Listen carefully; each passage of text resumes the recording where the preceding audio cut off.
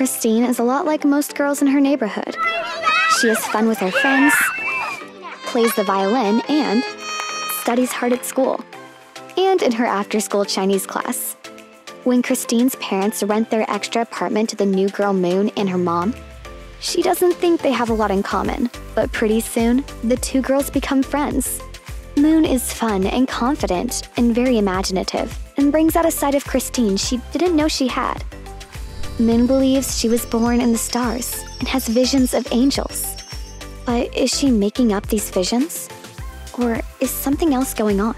Find out how these two friends get past their differences to be there for each other when one of them needs it the most. Look for Stargazing, a new graphic novel, at your Scholastic Book Fair.